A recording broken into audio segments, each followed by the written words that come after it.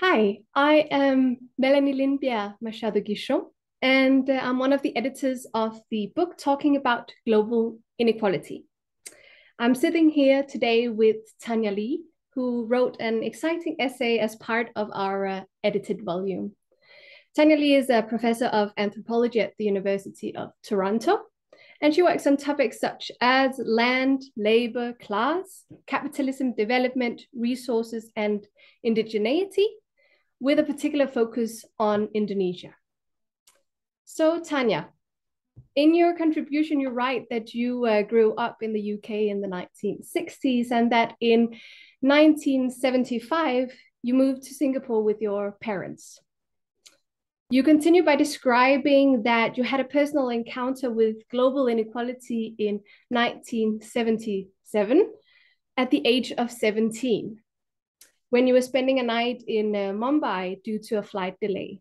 You emphasized that this personal experience stayed with you as you were struck by the reality of global inequality. So I'd like to ask you if you could please uh, describe this experience to us. Okay, well, thank you, Melanie, for the invitation.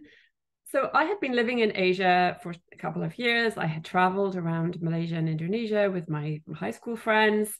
So I was not a stranger to diversity or to, you know, people living in different kinds of houses, eating different kinds of food. Like I was not completely naive, but I was really struck on this trip late at night from the airport to the hotel by um, whole families living in drain pipes. You know, there by the side of the road with little tiny candles or oil lamps and children sleeping on cardboard covered in flies, you know, covered in rags. It was a to me a really shocking picture because it wasn't just people living different lives. It was people living lives which were from my point of view, and I'm sure from their point of view, completely unacceptable. You know, just like a shocking level of destitution. And so I hadn't seen that in my travels around Malaysia and Indonesia. I'd seen sort of, you know, ordinary diversity, ordinary poverty, but not this, this shocking level of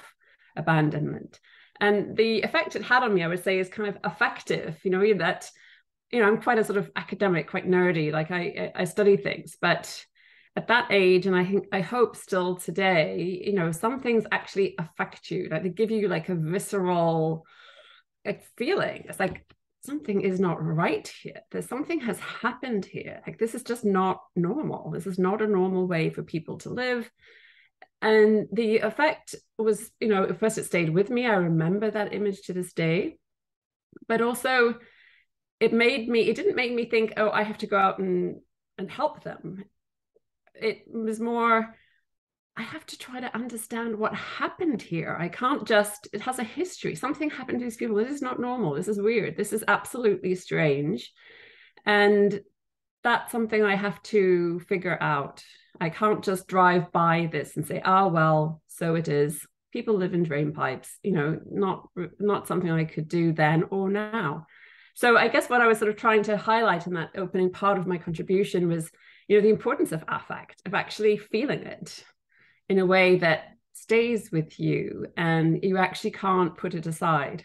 Yeah yeah and i'd, I'd like to to pick up a little bit on that because because you also underline in your essay that this experience in mumbai brought with it some questions as you're you're also um, highlighting or you were highlighting um, earlier which continue to drive your research today you're also saying.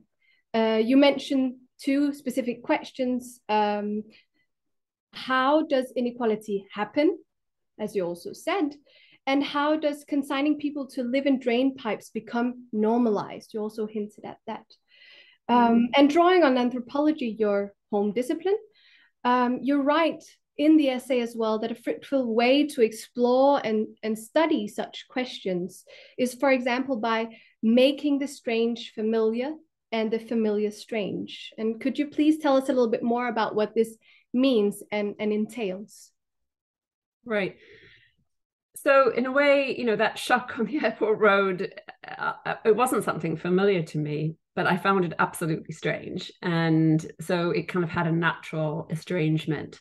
But I think we are, um, you know, on an everyday basis, we become kind of accustomed to the way things are, shocking levels of inequality, both you uh, know my own home city, Toronto, globally. And so we have to have devices to continue to remind us that nothing about this is normal or inevitable or natural or just the way things are. It has a history.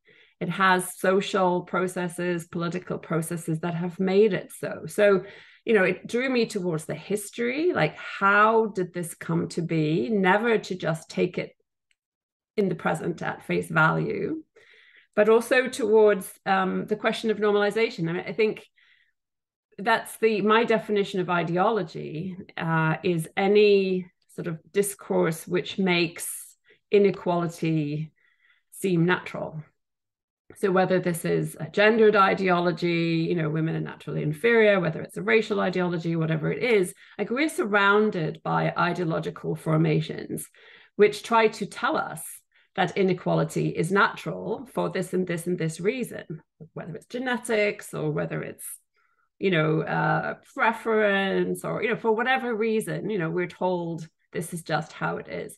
So, as I tell my students, every time you hear some justification for inequality, you're on the terrain of ideology, guys. Like, so you've got to study it. You've got to figure out how is this inequality being made to seem natural and normal?